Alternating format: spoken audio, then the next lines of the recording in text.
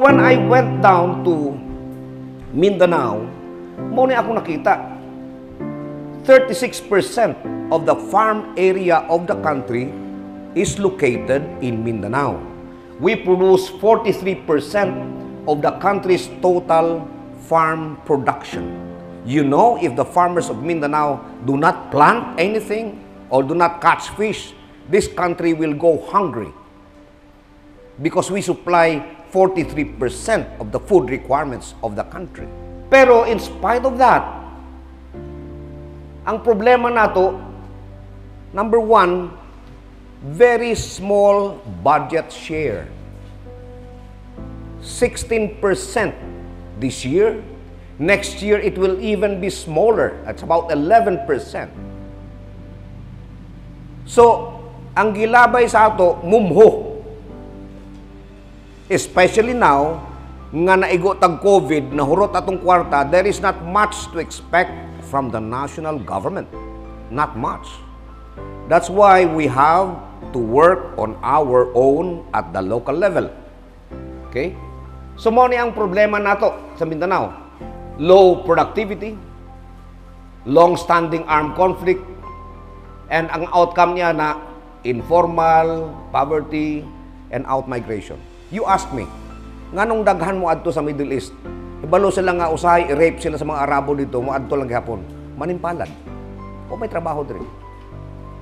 But if we can create jobs locally, I am sure no mother would leave her children behind just to earn a few thousand pesos and risk exploitation and abuse from foreign employers. Would you believe that of the 10 poorest provinces in the country, 8 are in Mindanao? And at least two of the 8 poorest provinces have poverty incidence as high as 70%. This is Lanao del Sur and Sulu. Botig nun, for every 100 families, 70 ka pamilya ang halos di makakaon. Or makakaon man, it's not really sufficient. Kinahanglan nato og 5.2 million jobs for the next 6 years. And if these people cannot find jobs in Mindanao, they will go to Manila, they will go abroad, and we will once again continue the modern day diaspora of Filipinos, leaving the country in search of a better future. And it's painful. It's sad. Pait kayo ni. Kanang muuli, nakakahon na. So mao ni ang atong gross domestic uh, uh, production. 30% sa agriculture, forestry, and fisheries. Manufacturing. Tanawan yung numbers. Okay? Unsay indication ana. Buting nun, ang ekonomiya sa Mindanao nagdepende sa agriculture and fisheries. There is no other way. We can never dream of manufacturing cars or airplanes in Mindanao. Undangan na nato na no, kanang buang nga ideya nga mag-industrialize ta undangan nato na because the reality is we are an agricultural country, we are an agricultural region. Unom sa Napulo, Kataga Mindanao, ana ang magtrabaho sa aktibidades related to agriculture and fisheries. But we could actually open up more jobs. Just wait. In the latter part of this presentation, you will understand why the things that we are supposed to do in Baongon will provide jobs to your people and stability. Okay? Mao ni ang ato mga produkto. 99.1% of the rubber production of the Philippines comes from Mindanao. 91.4% of oil palm production comes from Mindanao. 90.8 cacao. Ang pineapple ninyo 89%. Ang ka ang saging 84%, kape 82%, cassava 72%, sugarcane 64.8, seaweed 60%, coconut 60%. We are bigger than both Luzon and Visayas in terms of coconut production. Corn, 51%. Mango, 36.2%. Problema nato sa mais, unsa man? Ang problema nato sa mais, mao kini. Dungan tamo tanom, dungan tamo sanggi, dungan pud bagsak presyo. Dungan putong pobre. Amen? Hmm. Mo ni ang problema ang atong poor marketing system.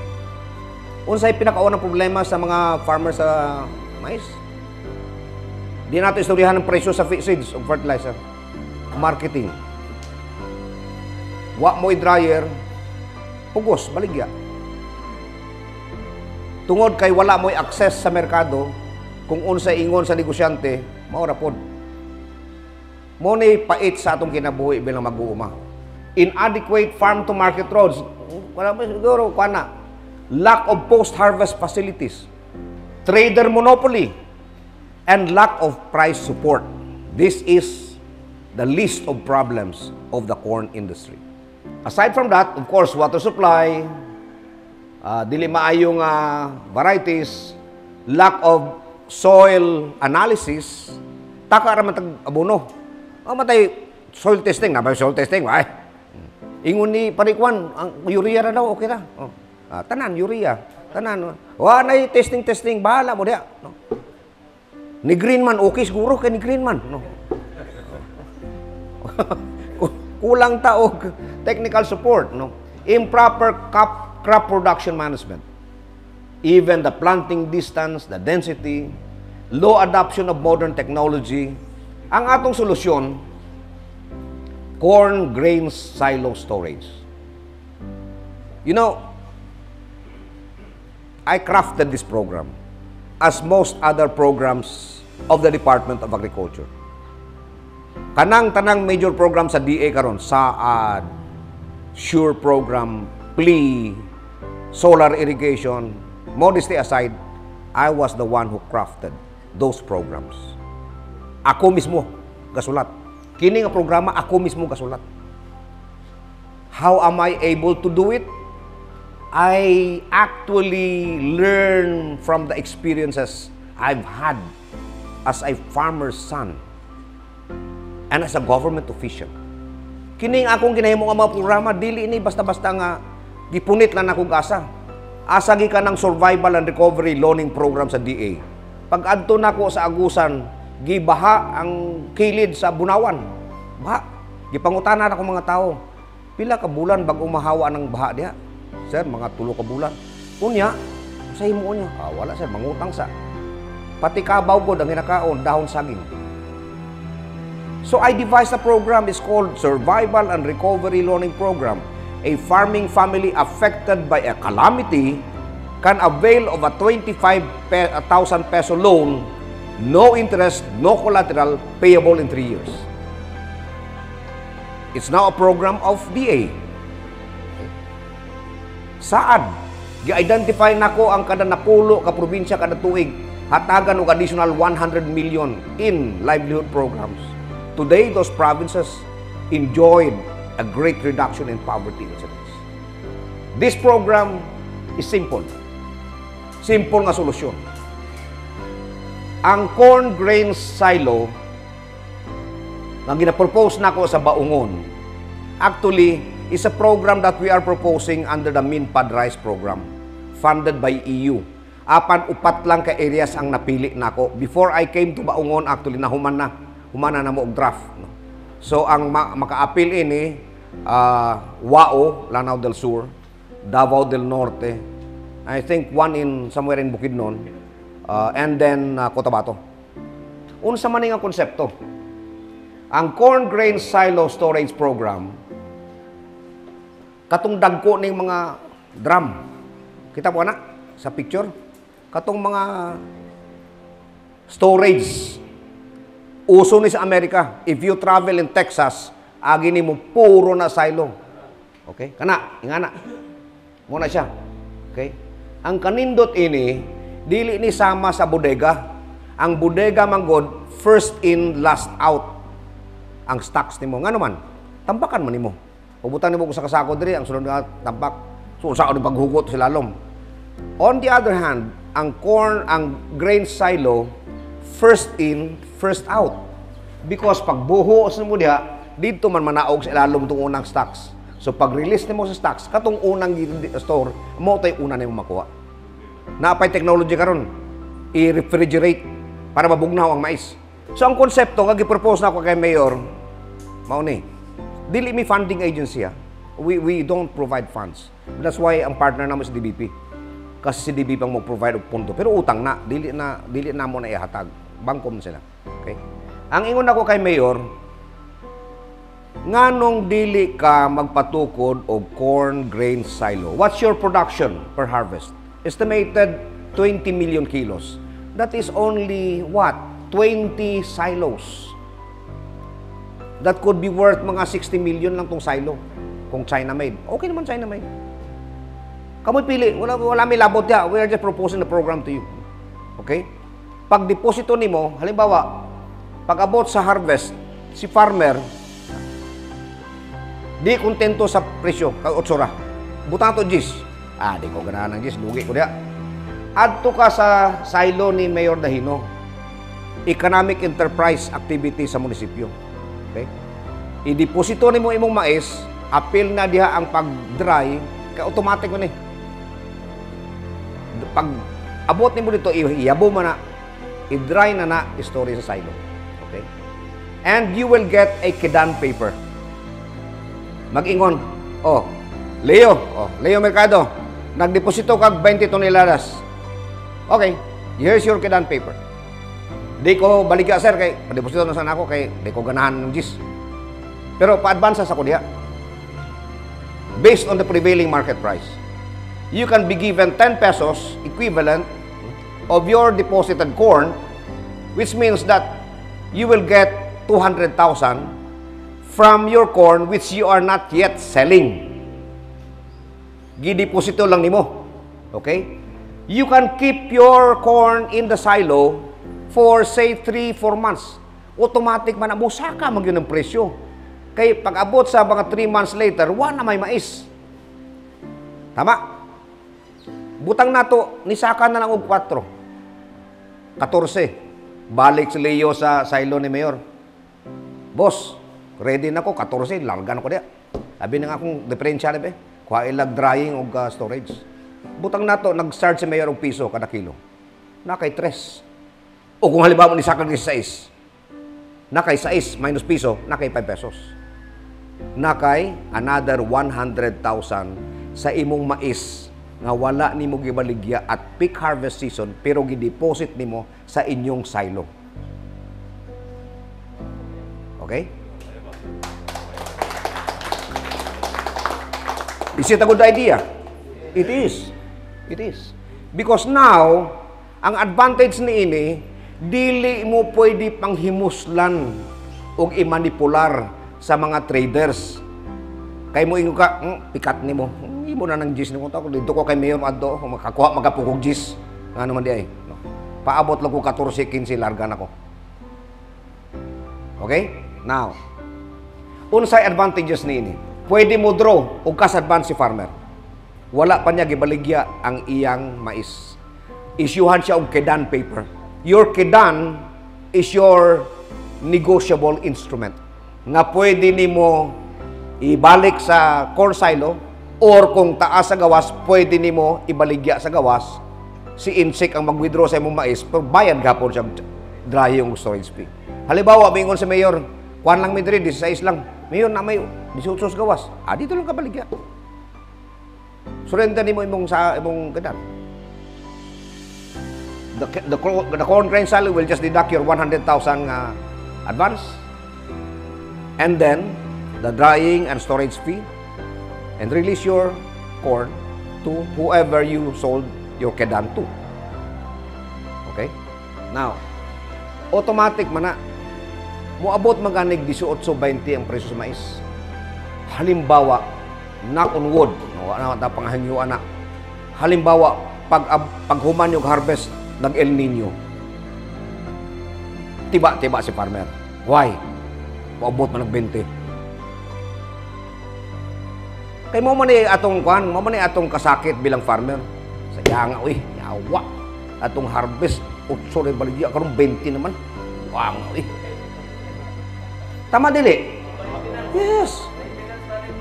Yes. Mao na yung permim, permim managhoy laging farmer lagi. Wa nga uy. Karon nung mais 20,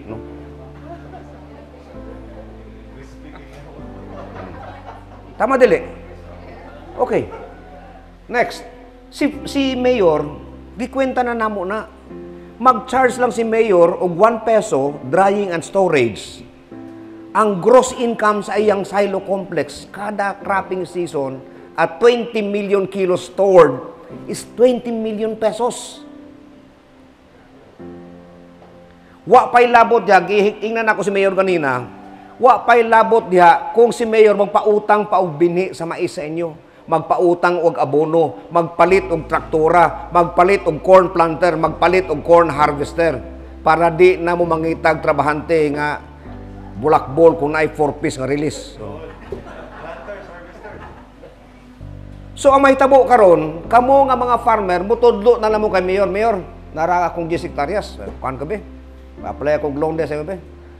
Tanan, traktora, planter, abono, binhi, pag-harvest, harvester. Bantay-bantay ka lang, taguhi-taguhi lang sa gilid. Is that not the ideal setup that you would like to happen? Karon, magpasanggi ka na, hapit na ma, gulang na kayo mais. Ah, sana ba itong yawa mga trabahante? Eh, ah, wala sir, ginilisan ng purpose sir. Tanto, ba, nga, gatong its. Bidyo ko yan. Birbog now. Okay? You know, you might ask, nga nung kay balo ko ini, I'm a farmer. I am a farmer. I know this. Walay makailad sa ako mo nang sigo katawa sa ilang. Ah, magani mo katunog ya- ah, o magani mo katunog og lapok. Kamo na nang maghimong programa sa agriculture. Tanawan ng inyong mga programa. Kanang RCEP for example, RCEP ah. When I was handling that, ang akong ginaingon sa ila, ayha na ng mga traktora, unahan yung dryer, kay dryer ang kinahanglan sa farmer. Hindi, mag sila mo to. Kay unahon mag traktora, dako ko komisyon sa traktora.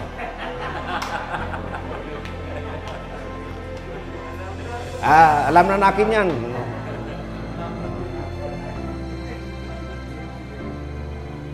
Okay? Next. Advantages.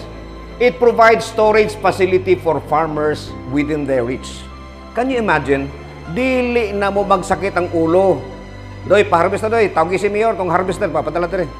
Gikan sa harvester, diretso nakasako naman na. Yabo sa, o di kani, naka-dump truck, yabo sa, sa silo. Diretso drying, di ba, Alan? Diretso mo na, iyabo ni mo, diretso dry, diretso silo. Hatagan na ka og pilay imong kilo, kinilo. Okay? You can control where, when, and to whom to sell your harvest. Nakay control. Dili man ka maipit. Kay maingon ka, basi nga butikulo na kung mais din akong baligyan eh. Ay, butikol ko na isaylo. 18 months more. Okay? Economies of scale opportunity for higher income. Katong inyong kahadlok nga madaot inyong mais, wa na to. Wa na. And most of all, steady ang supply sa mais all throughout. Lipay si feed mill. Kay dili mo po magsaka-saka ang presyo sa mais. Dili na po mag-import. Kay naa na may available nga supply.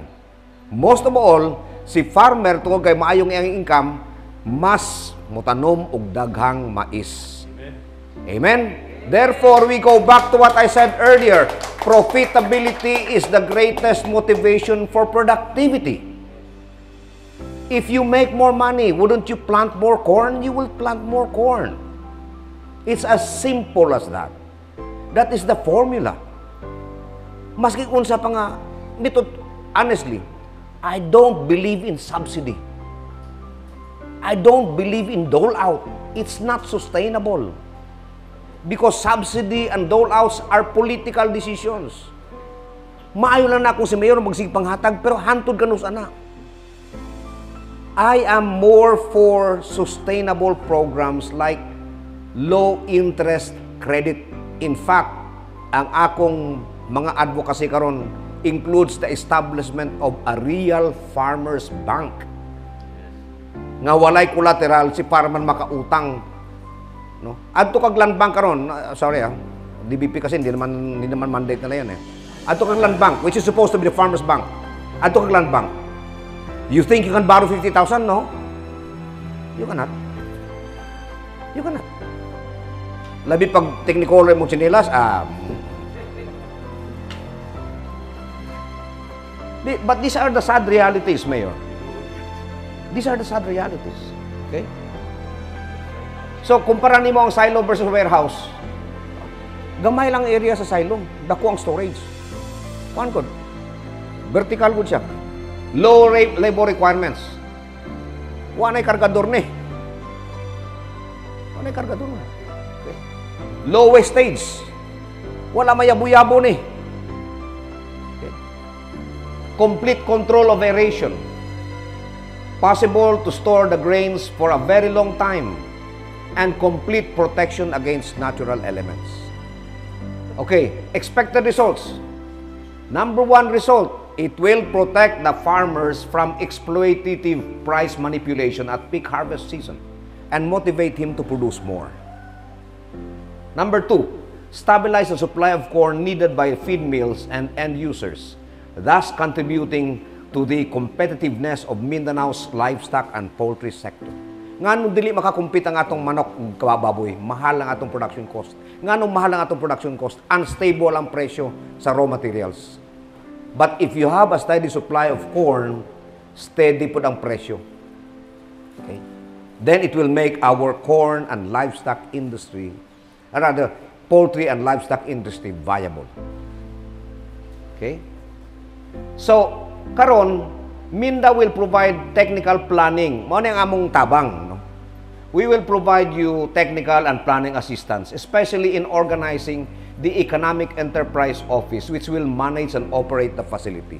What is the legal basis of this program? Local Government Code. In the Local Government Code, the local government unit is a corporate entity. You can engage in business. It's allowed. But not very many LGUs are exploring this option actually. Magsigilan tag pangayo sa national, that's not gonna work anymore. Okay? Now, number two, tabang na mo, maghimo mi og digital database of corn farmers, including a geomap. I will show you, pag abot sa panahon nga mahuman nato ni, ang kada corn farmer nga involved diri will have his own database. Si Mr. Mercado, for example, si Lito Mercado, pag abot sa panahon, mugawas, pagpindot ni Mayor sa iyang computer, pagpindot sa economic enterprise sa iyang computer, mahibaluan kung pila ka sakong binhi ang girili sa imo, kanusa, pila ka sakong abono, pilay utang nimo, hanusa ka mag-harvest dili ka makalingkawas. So unsay atong plano dapat himuon diri? Number one, mo na gipatawag mo ni Mayor diri because we would like you to understand this. Because this is going to be your project. Inyo ni. Tabang rami diri. Wala may labot. Pag bidding sa inyong silo, kamoy bidding, wala may labot. Tabang lamig organize, tabang lamig planning. DBP is here to provide funding. And DBP will not lend you if they know that you cannot pay. Okay? Are, giimbitan ako si Alan because si Alan owns the GSI Seeds which is a franchisee of Monsanto. Okay. Ang iyang offer kay Mayor, pautangon mo og bini. So di niyo ako nang i-loan pang inyong bini o pautangon mo bini. Payable after harvest. Okay ba sa iyo yan? Oh. Mas barato. Kung sa Monsanto 5.6, kini Monsanto franchisee, local pa, Filipino company pa. 3.5. Oh. Utang pa. Si Mayor, mupalit og abono. Government price. Okay? Pautang sa inyo. Mutubo ang munisipyo because economic enterprise eh. Dili pwede nga libre. Okay? Kaya mo bayad po si Mayor og interest sa loan sa DBP. Okay? So mo charge si Mayor og gamay nga fee. Pero it still will, it will, it will still be cheap. Barato lang gihapon na. Traktora ni Mayor, ipadaro sa inyo. Plant, ah, plow now, pay later. Okay? Di pa mo ganahan na. Dili na mo magpugas-pugas kay mapalit si Mayor og corn seeder. Automatic. Apil na diya ang abono. Pag abot sa harvest, harvester ni Mayor.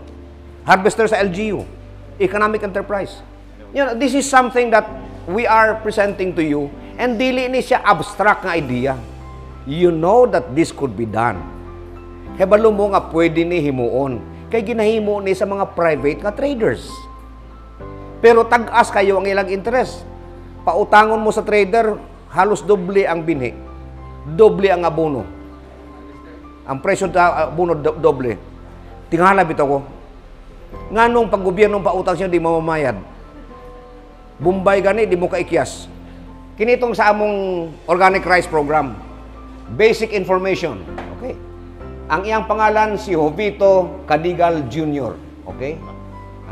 Kompleto na, may mapa asa ang iyang farm, unsa kalapad. Okay? Alright, tanawa. Services availed.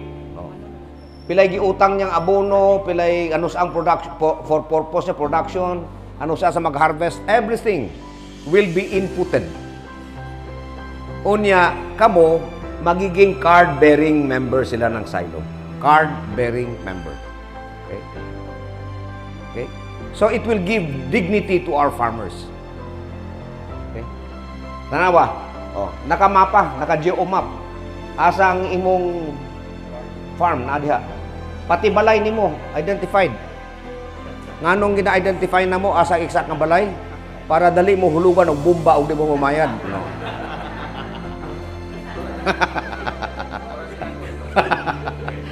Guided missile kalaban niyo di mo mamayad. Pati balay. Why? Because we would like to determine whether you are a legitimate farmer or not. Kay kini ra bang programa usay sa gobyerno, basta utang na gani, isos perting ng farmer. No? Kalit lang automatic naging farmer. Ha? Oh, okay. So, scientific na ang atong modern day, no? digital. Okay. Inga na ang mahitabo sa ato karon. So, okay. Course of action. What do we need to do now? We need the LGU through the Sangguniang Bayan to discuss this among yourselves. Is it okay? Is it a good project? If it is a good project, then you will pass a resolution authorizing the mayor to start this project. Okay? We can prepare the program for you, tong matrix sa programa, so that when you discuss this in the Sangguniang Bayan, gamitin nyo itong matrix. And DBP will also help us by providing us with the financial details. Okay? Then pag abot sa panahon, pag na-approve ninyo, authorizing the mayor to apply for a loan, we submit this to DBP. Kami mag-package because partner bank na mo ang DBP. Magtabang mo sa matabang mo sa inyo og himog, feasibility study, financial study, mo nang among tabang sa Mindang. And then the moment you're done with that, we submit it to DBP and DBP will go over it. Wala na kulba sa DBP because LGU ang nagautang. LGU. Naiira na siya nga garantiya. So after that, pag humana na, then we move.